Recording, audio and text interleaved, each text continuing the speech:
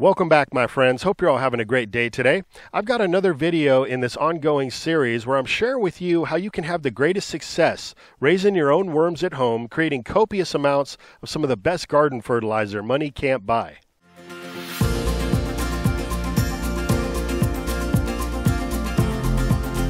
Today I'm going to be sharing with you the quickest and easiest way that I found to harvest the worm castings from your worm bin. This is going to apply to any size worm bin. It only takes a couple minutes. It couldn't get any easier than this. You're going to be happy if you learn this technique. So here we are next to my worm farm, my worm bin. This is really a tub full of worms. Tub full of worms. That'd make a good song. Today is one of those days where everything turns out right. I got this tub full of worms and not a spider in sight. They've been doing a good job eating all my kitchen scraps.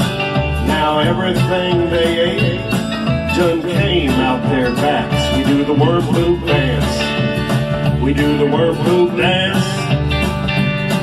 I'm happy that I chance to do the worm poop dance. To do the worm poop dance. I scoop it and I feed it to my plants. So this bin was reset late last year. It's been active all throughout the spring and summer months. As we're heading into fall now, we're going to do another reset on this bin.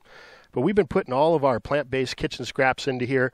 The worms have done an excellent job breaking down all that waste that would otherwise go into the trash and turning it into copious amounts of this premium fertilizer for the garden, these worm castings. So now we're at that crucial point many people struggle with, and that is how do we separate the castings from the worms so that we can harvest all of this fertilizer and get it into the garden? Well, on this channel, if you've been following along, you know that I've shared with you several techniques on how to go about doing that. But in today's video, I'm going to be sharing with you the absolute quickest and easiest way to accomplish this. So even though when we initially reset the bin, the bedding was right up towards the very top, and we've been adding in pounds and pounds of food scraps, everything has continued to sink down as it's been digested by the worms. And we've also been harvesting scoops out of here as needed. So at this point, we've got some room where we can kind of shift some of these castings over and create a little void where we can put some fresh bedding in. So that's what we're going to be doing. So I really like these ice scoopers when harvesting the castings. And if you've got any type of a screen material like here, I've got this used trampoline helping to allow all the leachate to drain out of the tub. I'm not going to poke into it as I would with a sharp spade. And look at all the worms in there. We're just throwing all of this to one side of the bin. Now the bedding material makes up about 50% of the worm's diet. So not only have they processed down the food scraps, but all the original bedding, which I set this with coconut coir, has now been converted into worm castings, as you can see. So all of these castings that I'm shifting over to the right side of the bin are all ready to go. I can harvest these as needed. And now that we're getting about full there on the right hand side, I'm going to harvest the rest of these castings, take it out of the bin, and the thing about red wigglers is they tend to stay in the top couple inches of your bin's material. So the deeper you go, the fewer worms you're going to have. That is, of course, until you start disturbing their bedding, at which point they'll begin to dive down. But because we moved so quickly, I was able to shift most of the worms over to that side with the castings on my way down to the bottom of this bin. So as you can see, there's still a few scraggler worms, but not many. I see a couple dozen here. So as you can see, the right side of the bin is now full of castings. The left side here, I'm going to harvest the rest of these castings. I got a bucket that I'm going to fill. These are ready to be put into the garden, turned into compost tea. And I am just not concerned about the few worms that are left in the castings here, as they're just going to end up in the garden. And let me give you a close up here, just so you can see. There's really not many worms in here, just a few. So rather than spend an enormous amount of time trying to remove every single worm from your casting, I'd say be content with removing some of the worms out of the bin when it comes time for harvesting. As long as the majority are left in here, once we reset and put some fresh food and bedding in here, they're just going to continue to multiply. So we're here at the bottom of the bin now. Those worms right here, I don't want to injure them, so I'm just going to let them be. But check it out. We got a full five gallon bucket of worm castings now, ready for the garden. We can slap a lid on this and use these over the next couple weeks or so. So now we're going to replace this left side of the bin with some fresh worm bedding. And by the way, if you missed yesterday's video, I'll drop a link below. I shared with you all the common everyday free materials you can use to create a nice habitat for your worms, perfect bedding material, things like newspaper and cardboard, wood chips. So check that video out. Today I'm going to be using my favorite material, which is coconut coir. The coconut coir is great because it comes in these easy to store compressed bricks that need to be hydrated.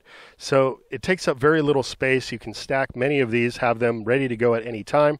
And all you need to do is add some dechlorinated water to that compressed brick, and it's going to expand the material. You're going to get a bunch of this worm bedding. You can add this into your garden as well. This coconut coir is absolutely perfect for worm bedding. They eat this stuff down.